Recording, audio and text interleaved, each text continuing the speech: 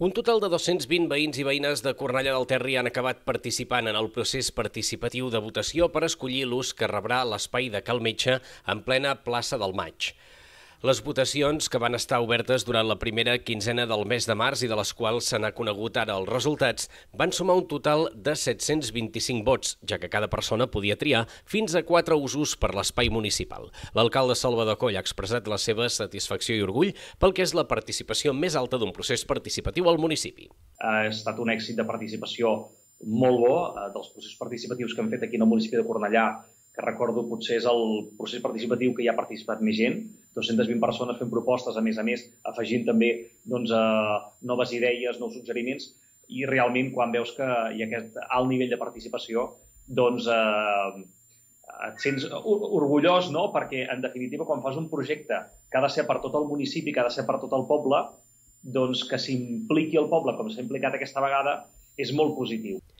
D'entre les nou idees que es van proposar des de l'Ajuntament de Cornellà del Terri i les entitats, les que més suport han acabat rebent dels ciutadans han sigut la d'un bar-restaurant amb 137 vots, la d'una biblioteca amb 114 vots i la d'un espai per acollir activitats culturals amb 92. 84 persones van votar per conservar una part del jardí com a espai verd i 73 van optar per una ludoteca infantil. L'espai per a gent gran i la sala multimèdia van quedar empatades amb 53 vots, la sala d'exposicions en va tenir 37 i la sala de reunions 28.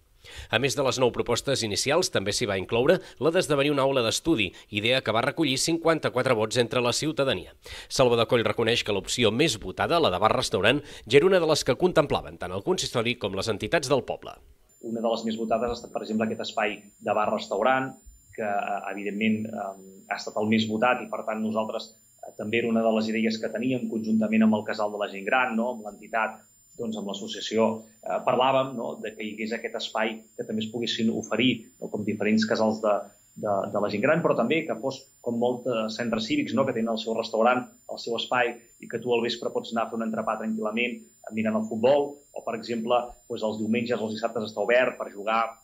per anar a fer un cafè, per anar a dinar fins i tot.